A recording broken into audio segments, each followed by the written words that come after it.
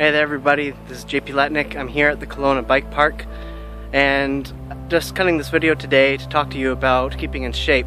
Um, I've been focusing a lot on studying. We've had a recent baby girl.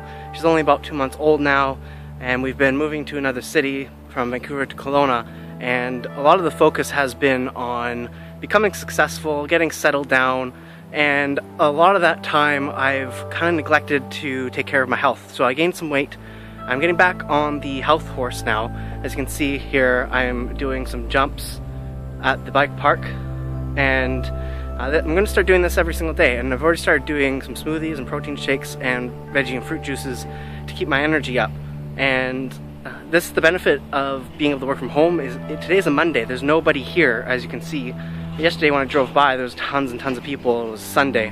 So we're here to do our business and be successful and have these days where we can have a whole bike park to ourselves.